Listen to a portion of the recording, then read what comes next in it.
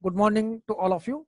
I am Dr. H.M. Kadlimatti, Associate Professor, Department of Mechanical Engineering, Basaveshwara Engineering College, Bagalkot. I have been selected as one of the course experts by the Faculty Advisory Board of Visvesvaraya Technological University, Belagavi for online classes in the subject of heat and mass transfer. I will be teaching uh, heat transfer module 5. In this, you will be learning heat exchangers and boiling and condensation. Boiling and condensation is also known by the another uh, uh, term uh, heat transfer with phase change. Now let me start with the heat exchangers. Heat exchangers are the devices used to facilitate the exchange of heat between the uh, fluids that are at different temperatures. Heat exchangers finds wide range of applications. For example, domestics to space. You may ask one question, where the question of heat exchanger in domestic applications. So uh, every day we are using bathing purposes a gas geyser. Gas geyser is one of the example for the heat exchanger in which you are burning the LPG and to heat the water. LPG is a hot gas that burnt gases by the LPG is a hot gas and water is a cold fluid. So hot fluid cold fluid they are separated by the wall heat exchanger takes place. Gas geyser is one of the example used in domestic applications. At the same time don't confuse with the electric geyser. It is uh, not a heat exchanger because there is a due to the flow of electric current in the heater coil the heat is being generated that is transferred from the surface of the heat uh, that uh, electrical heater to the uh, the fluid flowing around around the uh, electric heater. In this case, it is a case of convection, not the example for the heat exchanger. Next one is the refrigerator. You are all familiar with the refrigerator, fridges, what you are using in your, it is an example for the heat exchanger. Uh, air conditioning system, air conditioning system. Then chemical processing plants, you come across number of heat exchanger applications. Thermal power stations, we come across number of uh, uh, heat exchangers. In thermal power stations, you come across uh, the primary heat exchanger. For example, uh, your boiler is a uh, heat exchanger, uh, uh, economizer, air preheater, feed water heaters, super heaters, your cooling towers, condensers. So you come across in the steam as well as uh, nuclear thermal power station. In nuclear thermal power stations, again you come across primary heat exchangers, secondary heat exchangers to avoid the the uh, this uh, radiation effect. So they are we are using primary heat exchangers as well as secondary heat exchangers, followed by your condensers, cooling towers. They are all examples for the heat exchangers. Next is the automobile radiator. So automobile radiator is one more example for the heat exchanger. Here automobile radiator, you all know, it is used to cool the your engine. Uh, some uh, uh, earlier days we used to uh, use the water. water is circulated around the engine cylinder. That extra heat is taken away by the water and that is cooled in the radiator when it moves from the top to bottom. Nowadays, we are using the synthetic fluids. You are all aware the uh, uh, synthetic fluid is uh, circulated around the engine cylinder to cool the engine. It is also an example for the heat exchanger. Next, the space vehicles. So launching vehicles, you come across the polar satellite launching vehicle, uh, geostationary launching vehicles. They are the uh, space vehicles also you find the application of heat exchangers. Now let us classify the heat exchangers, how they are classified. Uh, first classification, it is based on the nature of heat transfer process. Nature of heat transfer process. Direct contact heat exchangers and indirect contact heat exchangers. So now take an example of your direct contact heat exchanger, cooling tower. Okay, cooling tower just now I mentioned it is uh, used to cool the condenser water which is coming out of the condenser. At the turbine exhaust, you know, steam which is coming out of the turbine exhaust, it is cooled in the condenser by passing the cold water. Okay, to, through the tube bundles. As soon as the steam comes and touches the surface of the tube bundles, a condensation of the steam takes place, and this heat carried away carried away by the water has to be cooled either using a natural convection cooling tower or forced convection cooling tower. It depends. And you know natural convection as well as what is the forced convection heat transfer processes in our previous chapters.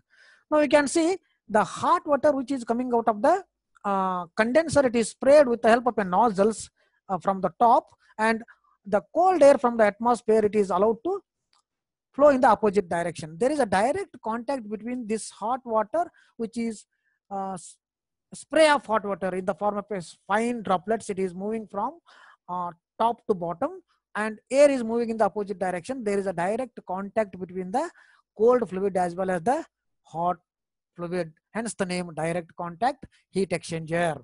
And the cold water is collected at the bottom here. We can see bottom. So that is again recirculate back to the condenser for cooling. Now it is, you can see it is a direct contact. One more, forced convection. Here in this case, you see the air is entering here, air is you can see from this here entering with the help of, so where the uh, heat transfer rate is required at the higher rate when the natural cooling is not possible to meet the requirements then we are going for the forced convection uh, method cooling tower by using the cooling tower force convection methods. So air is forced with the help of either blowers or big fans and again water uh, moves from it is in the form of a broken into a small droplets and water moves from top to bottom and air enters from the side of the cooling tower. Again there is a direct contact of the hot and cold fluids takes place. So we have to go for this direct contact heat exchanger when there are no harmful effects. Okay if there are no harmful effects then we can go for the direct contact heat exchangers.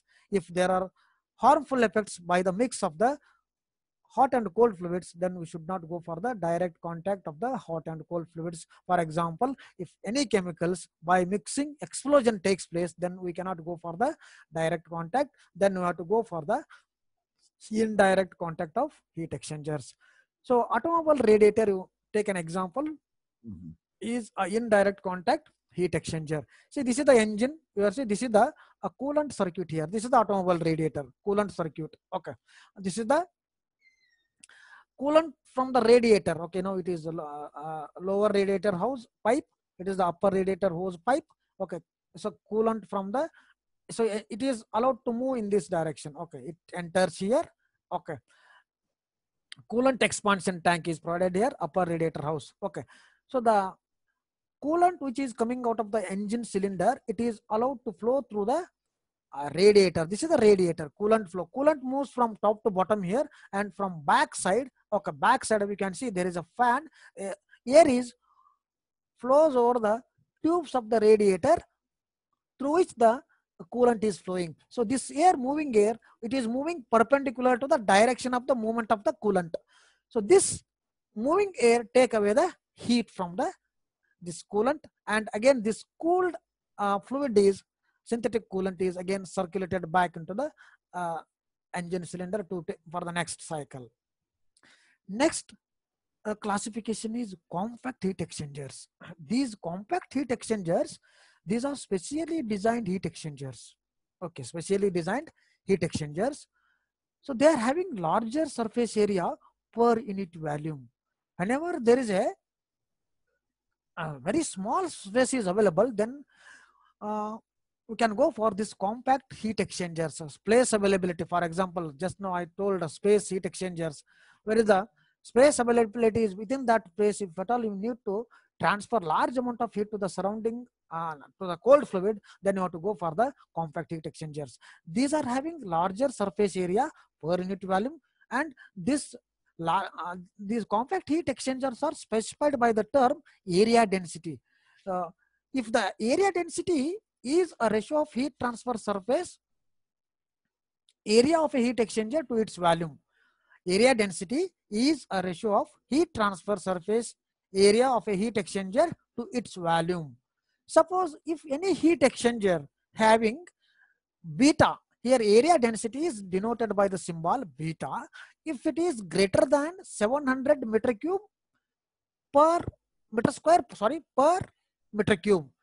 If it is possible to place this heat exchanger in 1 meter cube of volume, if it is possible to place heat exchanger having 700 meters greater than 700 meter square of surface area, then it can be termed as a compact heat exchanger.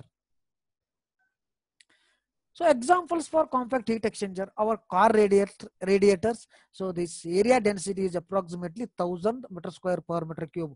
Car, no, the space availability is very, very less. So obviously we have to go for the compact heat exchangers where the place is very, very, very important area. Sir, place is very important. Then you have to go for compact heat exchangers.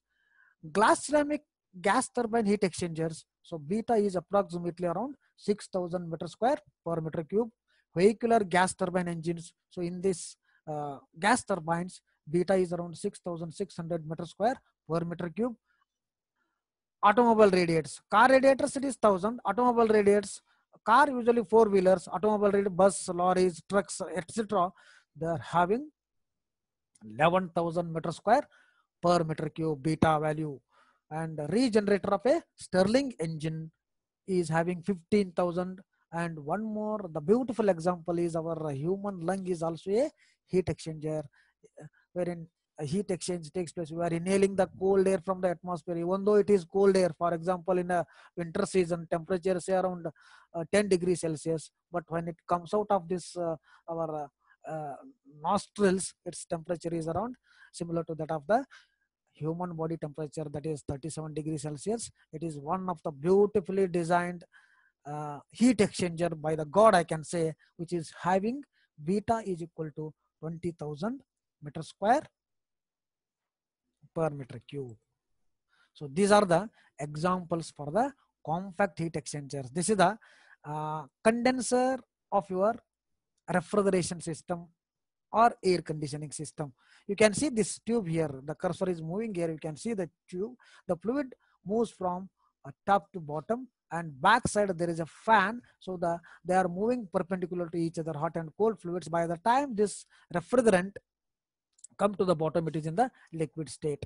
Here, these two are the configurations available flow configurations. One is uh, cross flow, both uh, fluids unmixed. Both fluids unmixed means there is a compartment is produced say one plate second plate the number of compartments are produced one fluid is this uh, flu one fluid is flowing through a tube other fluid is flowing through the compartments which is given. That means that fluid has to move in a particular compartment or the passage. There is no mixing of this the fluid which is moving in this direction whereas in the other configuration, one fluid is flowing over the uh, uh, surface of the tubes, so it can be mixed, and the one which is flowing through the tube, it cannot be mixed. So that's why it is one fluid mixed and one, one fluid unmixed. We can also classify uh, heat exchangers based on the construction type. They are tubular heat exchangers, plate heat exchangers, plate fin heat exchangers. Already you have studied about this heat transfer from a fin fin. Or fin fin simply a fin or fin fin or any cross section or extended surfaces. They are used to increase the rate of heat uh, transfer. Similarly here plate fin heat exchangers. Tube fin heat exchangers. Regenerative heat exchangers. Regenerative heat exchangers. So this is cell and tube heat exchangers this cell and tube heat exchanger finds widespread industrial application but it is not suitable for automobile as well as space applications. Uh, for example, aircraft applications due to large size and weight. Though it is a having widespread applications but not suitable for the automobile as well as air, aircraft applications due to large size and weight. And again, this shell and tube heat exchanger we can classify based on the number of tube and cell passes. Okay, uh, you may uh, it, it is like this. Uh, number of tubes uh, two tube one cell pass. Okay. Four tube two cell pass like that. Uh, we can classify. So now we can see the this uh, multi-pass flow arrangements in cell and tube heat exchanger. Now you can see this is one cell. This one cell it is a cell side fluid is entering here and it is coming out here. And tube side fluid the tubes are provided it will take a turn like this okay it is one tube pass, another tube pass. It is a one cell pass two tube passes heat exchanger. So you have to choose the heat exchanger depending upon our requirements. To the what extent the heat exchange process, heat exchange between the cold and uh, hot fluid has to occur depending upon our requirement. We have to go for either one cell pass, or two cell pass, or n number of tube passes. Now one more example here you can see it is a sketch uh, two cell passes and four tube passes. So this is one cell. The bifurcation is here. You can second uh, cell. So this is one tube pass, second tube pass, third and four. Two cell pass and four tube passes. So now you can see the uh, this uh, the cell and tube heat exchanger used in the industrial applications. You can see the tubes here and cell. This is the plates here. You can in between the plates you can see. So the this is for the entry and the exit of the fluids. You can see here. You can entry as well as exit of the fuel. Okay, one fluid.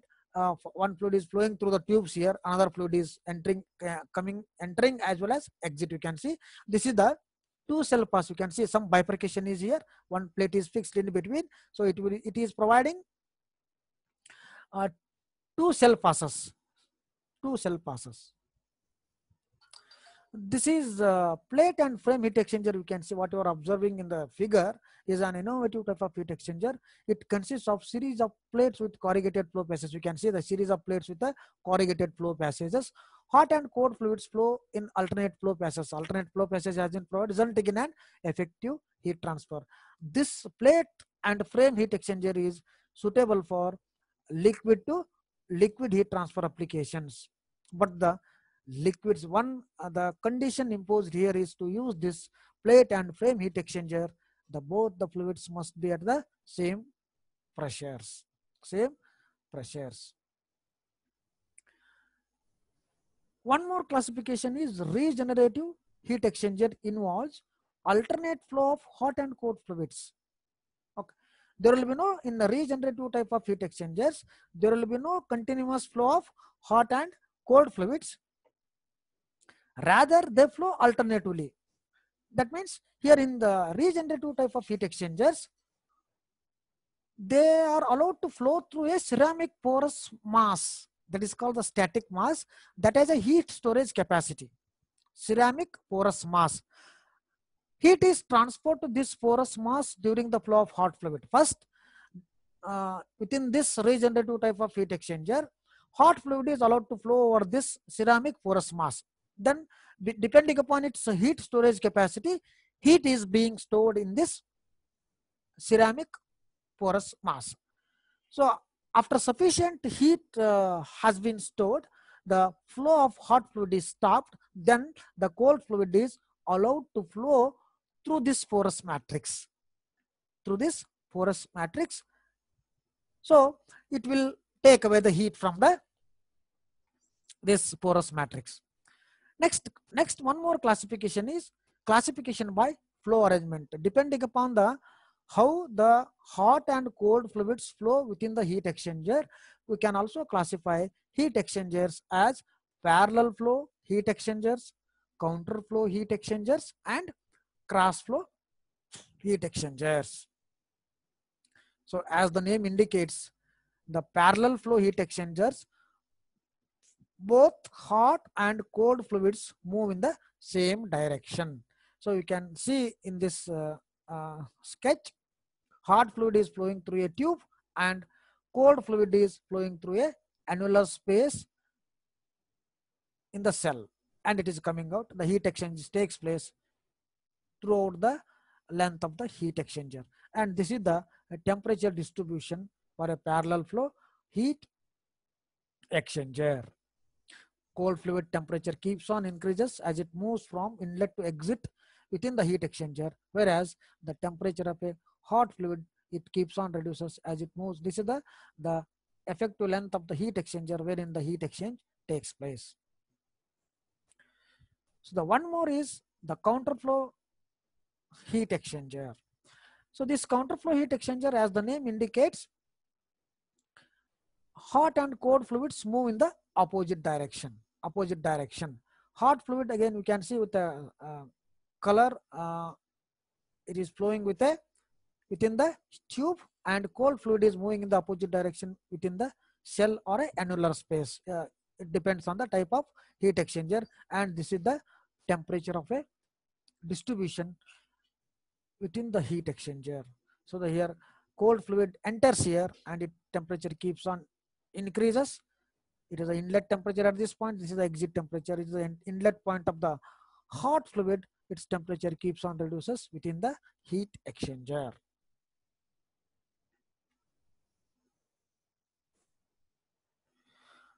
Now this is the cross flow heat exchangers. Cross flow heat exchangers with temperature distribution. Here cross flow heat exchangers is unmixed, uh, uh, both fluids unmixed here. Here one fluid, uh, let us say hot fluid is, hot fluid is, it is moving through the tubes and there are number of plates have been arranged here and in between the two plates the passage is there. So the one more cold fluid is let us say it is moving through the passage and this is you see the temperature distribution. Cold fluid is entering here and it is coming out. This is the temperature you see from inlet to exit its temperature is increased. Hot fluid enters here its temperature it is decreased from inlet to exit. Cold fluid temperature increases. This is the temperature distribution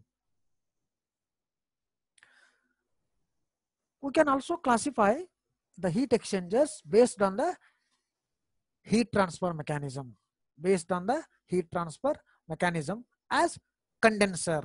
Condenser is a heat exchanger in which one of the fluids cooled as it passes through the heat exchanger.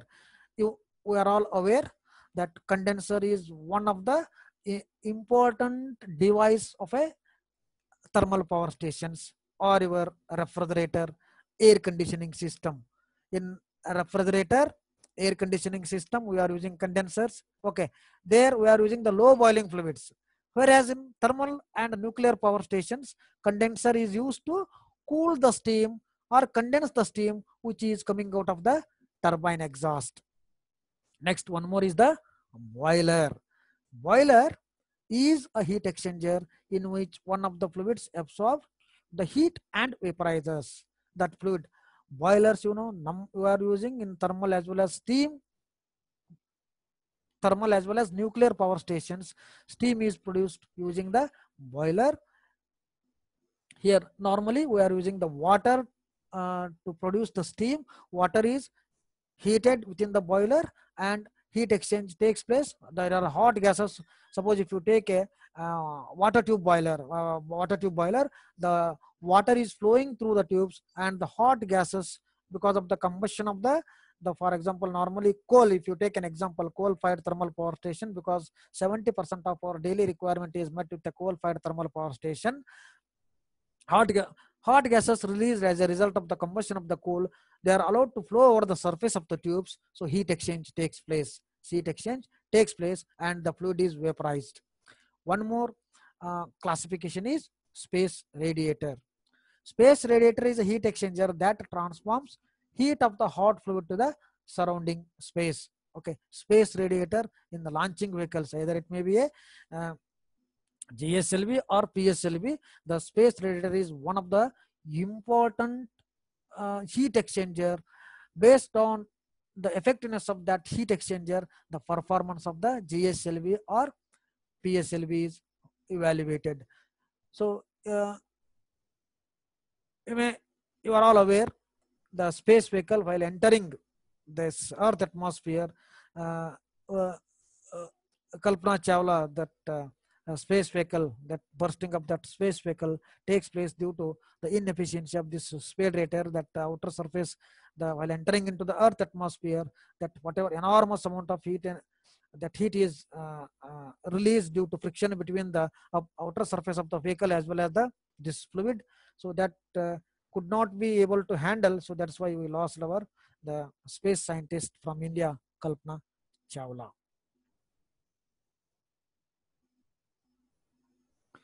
So this is uh, the one of the example for two pass surface condenser of a steam. So you can see the steam is entering here from the top. Okay from the top. This is the water box which is uh, supplied here. This is the, the other side this is water is entering here. Okay. Water is it is flowing through this. There is a tube arrangement we can see tube banks we can say this is the tube banks. Number of tube bundles are provided. It is water is flowing through the tubes and as soon as the steam comes and touch this surface of the tubes through which the cold water is flowing, the condensation of the steam takes place. Then the water takes turn here and again this pass through a tube bundles. Okay, tube bundles and it is coming out here. Then this water is cooled in the using cooling towers. Okay, using in the cooling towers at the beginning of the class we, you, we observed the uh, direct contact heat exchangers either it may be a natural uh, convection cooling tower or forced convection nowadays in almost all uh, uh, thermal power stations maybe a coal fired or nuclear uh, thermal power station post convection cooling towers are used to cool the this condenser water effectively. Okay. This the condensed uh, steam that in the form of water is collected and it is then uh, it is called the hot well then it is sent back to the boiler house. So this is the uh, temperature distribution in condenser as well as the boiler. So it is a the effective length of the heat exchanger. This is the uh, x-axis you can say y-axis is the variation of the temperature. In condenser what happens the condensing fluid temperature remains constant you can see here. Okay. This is the temperature difference available at the inlet of the condenser it is the temperature difference available at the exit of the condenser. Similarly in boiler the uh, evaporative fluid temperature remains constant here. Okay. This is the temperature difference available. Uh, hot fluid temperature keeps on increases along the length of the this boiler. And this is the te temperature difference available at the exit of the heat exchanger that is the boiler.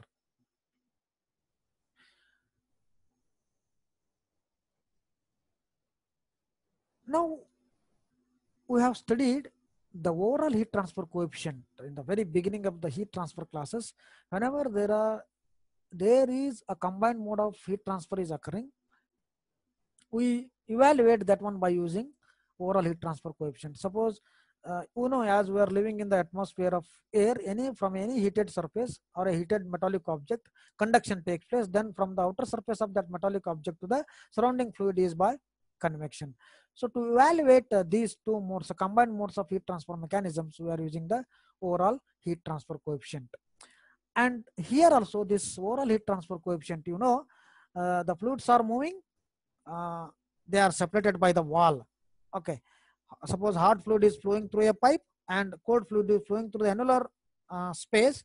The heat has to transfer from the thickness of the inner pipe to the the annular space where the cold fluid is flowing. So that means first it has to to be conducted through the thickness of the pipe then from the surface of the pipe to the cold fluid by convection. So here we need to consider this uh, again uh, inner surface of the pipe receives heat by convection conduction and convection. So that we need to consider this overall heat transfer coefficient. It is a, one of the important parameter in the analysis of heat exchangers. And along with this we need to consider the various thermal resistances in the path of heat flow from hot to the cold fluids. There are thermal resistances and that one of the resistance is due to fouling so there are various thermal resistances. Convective resistance, hot fluid to inner surface of the pipe, then conduction resistance, again convection resistance, along with this resistance due to fouling. Fouling, you know, normally it is accumulation of the the dirt particles on the surface of the heat transfer heat transfer or a heat exchanger surface of the heat exchanger surfaces. Okay. So the fouling is scale formation. In other words, I can say uh, you are all experienced uh, when you are heating uh, water for a bathing purpose in a uh, using electrical heater uh, immersion uh, water heater you after if the water is having that tds is more total dissolved solids are more in the water. Okay. So after some hours of use you see the the white material deposition on the surface of the this electrical heater. That is the called the scale formation. That scale formed is very bad conductor of heat and it affects the heat transfer rate. And reciprocal of this uh, scale thermal resistance is called the uh, uh, fouling factor fouling factor. And this uh, overall heat transfer coefficient is normally based on the outside surface of the tube outside surface of the tube and this is the expression for the uh, overall heat transfer coefficient. This expression is available in your data handbook. Okay, if you refer heat exchanger topic and if you open uh, the heat exchanger topics, there you will find the uh, not only this heat transfer coefficient based on the outside surface area, also based on the inside surface also. Here, this overall heat transfer coefficient is it is given by 1 over d naught by di into 1 1 by hi plus d naught by di fi plus d naught by 2k land d naught by di plus f naught plus 1 over h naught. Here d naught and di outside and inside diameters of the pipe. H naught and SI, HI already you are aware, we have learned the convection chapters, outside and inside flow heat transfer coefficients. It is uh, represented in watt per meter square Kelvin. K is the thermal conductivity of the pipe metal watt per meter degree Celsius or watt per meter Kelvin. And these two are the fouling factors due to scale formation F naught and Fi. Uh, it's outside and inside fouling factors. Uh, let me uh, stop and we'll continue in the next class.